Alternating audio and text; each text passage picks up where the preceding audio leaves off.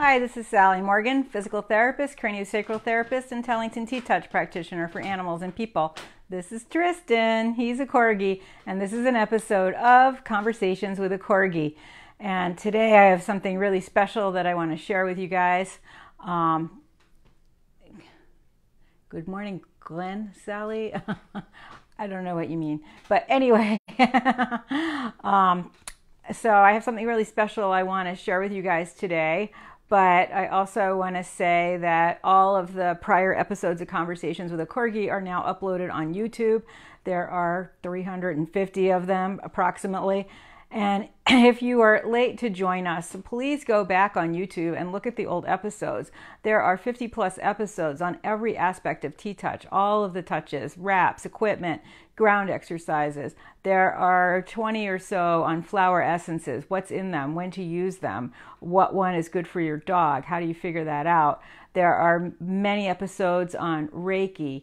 There are several episodes on craniosacral therapy. There are episodes on doing yoga with your dog. There is just a wealth of information on conversations with a corgi. So please check them out on YouTube. We've tried to put them in playlists, but it looks like uh, YouTube kind of ignores that. And you might get conversations with a corgi, two unrelated episodes, and then some random corgi cute butt things thrown in. Um, but if they are in numerical order, so if you watch one that you like and it's like on T touches, then you can just type the next number and you will be in a steady stream of conversations with a corgi about T touch.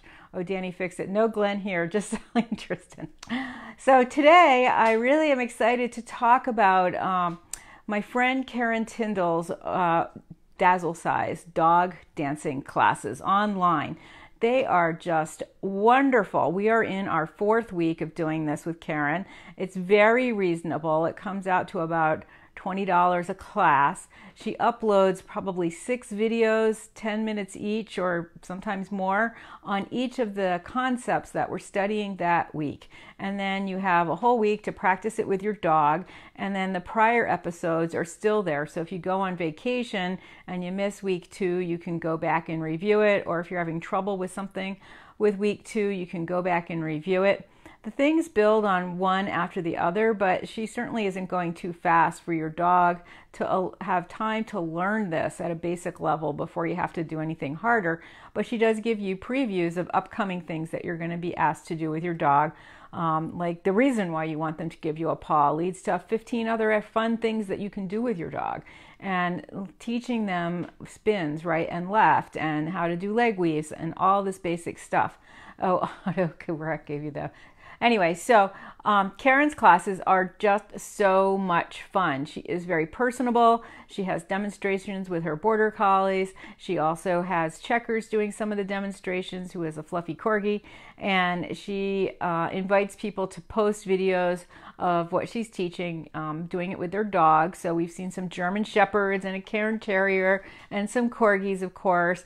And so there's a whole gamut of dog breeds in her program and it's really so much fun. Um, I have in my animal connection cards, which are about 52 things you can do to enhance your relationship with your animal. One of the cards is dance with your dog. And this can be something as casual as putting on some music and running around the living room with a squeaky toy in your hand so that your dog follows you. But what Caryn's teaching us isn't that far off from that because you can use a toy or treats to what they call lure your dog. Really it's a way to communicate with him to show him what you want him to do so that your dog can do this with you. And you don't need a lot of space. That's always my concern. Since i've moved to this house even though it's huge uh, compared to my last house i had a 30 by 40 foot living room in my last house so if i just moved a couple pieces of furniture i had plenty of room to run around not so much with this house because it's got more rooms and um, there's like an island in the kitchen and stuff. So I have a small space, as does Caryn. So she shows you how to adapt all of this to a small space. So some people are, um, you know, doing this in parking lots, and some people are doing it in their homes or in their living room with the coffee table smashed into the sofa whatever you have. You do not need a lot of space to do this. And I have to emphasize again how much fun it is. It's fun to watch her dogs do it.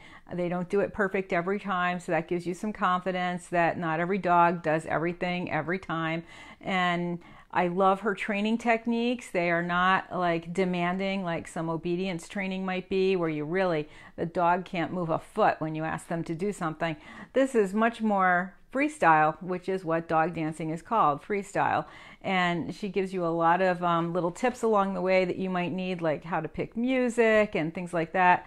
And I had the great pleasure to interview Caryn uh, for my radio show, and that one will be out um, the first Monday in September, which I believe is Labor Day. So that's airing at 7 in the morning and 7 in the evening. So if people are home from work that day, you might be able to listen to the episode. She's so engaging, and I just love what she's doing. She's also doing a lot for DM awareness, which is degenerative myelopathy, which we've talked about here quite a bit, which is a disease that corgis and boxers and German shepherds and other breeds get um, genetically. So Caryn may be known to people from that, but her dazzlecize dog dancing class is just so much fun. I can't emphasize enough how much fun Tristan and I are having with this.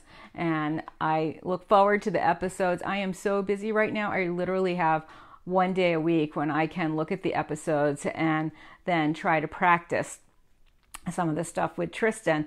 And so I do what's not really a good idea, which is one long practice session instead of little short ones. But I'm trying to remember to do some of his tricks before he gets his T R E E T's when he comes in from outside.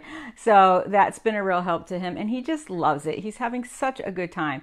And Pat, you have a young puppy. You should try this dog dancing with her. Um, just start teaching basic tricks, which you can get off of. Um, the AKC website on their trick test, there's a whole list of tricks. And lots of those tricks are the same kinds of things that you'll need to do dog dancing if you're not doing Caryn's class right now. And she's going to do another one after this. And I really, it's just so much fun. And I can't wait till I get another little puppy to start with them even earlier than I did with Tristan. How soon were you dancing, Tristan? He's like, oh, hum, it's been a long time. but I started teaching him some basic uh, heeling and things like that when he was a little wee one. Plus, I had another big, really good corgi to help show him how to do things. But he was kind of a rascal. He would participate for a couple of seconds slash minutes and then have something else more exciting. But um, it really dog dancing has been really enriching in my life. I haven't competed doing it because I just don't know how. I mean, I've really, um, having shown horses all my life, um, and we, of course, heard about my incident going to the Corgi show to do the herding and thinking that my class numbers were my times because I'm so used to horses. Um, so I have a lot of uh, learning curve here to really participate in dog dancing activities for real. And I don't even know where anyone does them around here. But Caryn's class is helping me uh, learn how to do this on my own in my house so that I could drive somewhere and do this with my dog. And I certainly would have to go and download the rules and the requirements before I would do that. And um, it just, it, but it's really fun. Even if you never compete, it's really fun. And trying to find music that you like that fits your dog. I mean, a lot of the music I like isn't necessarily music that goes with my dog. Um, so I've been shopping in a lot of the uh, Celtic music that I have, being a Welsh corgi, why not go with some bagpipes and flutes, right, Tristan? of course, he's done music like Mission Impossible theme. What else have you used for your dog dancing? I um, he he did the Celtic one. He did Mission Impossible. He's got a few costumes. Uh, oh, we did some uh, themes from, and this one's actually on YouTube from the Nutcracker Suite. It's under uh, Corgis Can Dance. It's not, and it's also on Conversations with a Corgi, but I don't know where. But Corgis Can Dance, you'll find it, and it's just really fun. I think everyone should try it, even if you just do a little fun presentation or demonstration with your friends when you're together, you know, at a family gathering or a picnic or something. Um, and to string tricks together to make them into a dance is really a lot of fun and it's fun for you. And i have to tell you people all ages sizes shapes and dance experience do this with their dogs. I know people across the world some of them are 20 years old slim and dancers but lots of them are just ladies with a dog that wants to do something fun with them. So try it. Caryn said you can contact her on her regular Facebook page, which is Caryn Tindal. It's C A R Y N. Tindal is T I N D A L. I don't think she's very hard to find on Facebook. Um, she has a Dazzlecize page as well, but that is for the people participating in the class.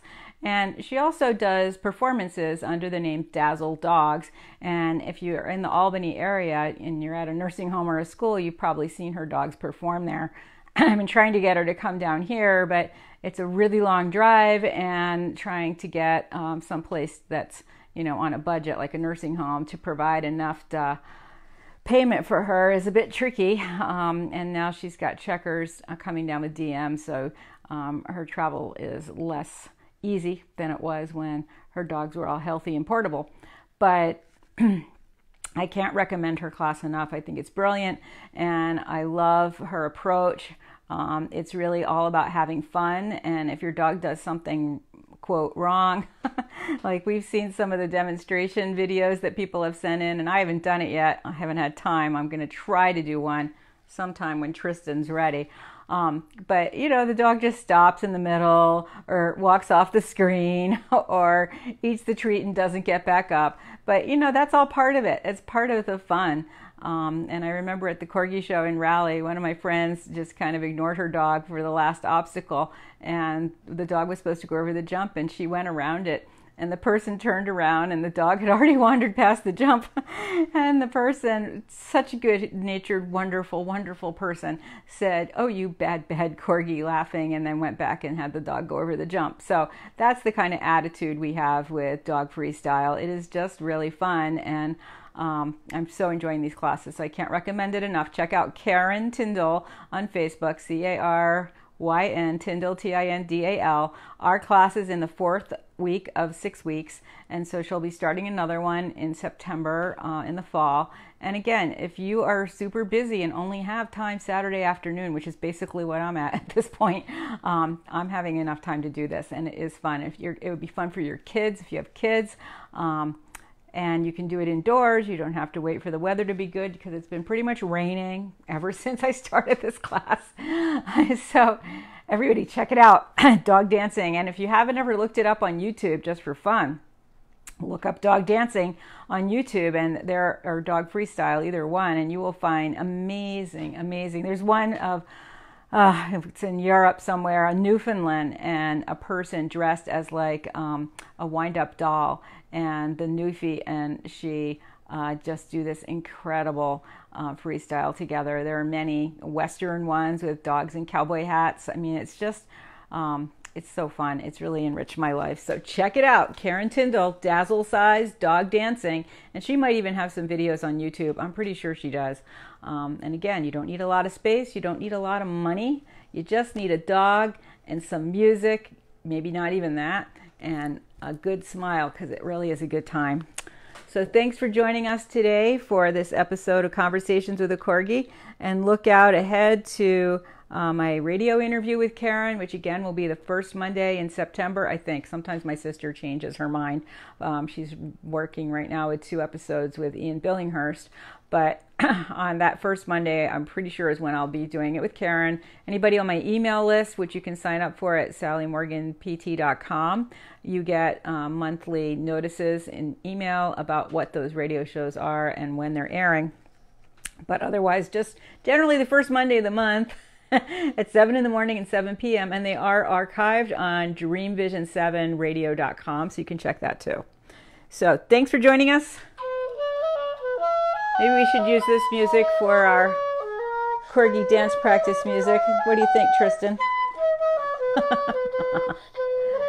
I have some very, uh, what? I have some very sprightly bagpipe music that I think is what we'll use. What do you think? Oh, you're so shy. and cute. And a little bit stinky still.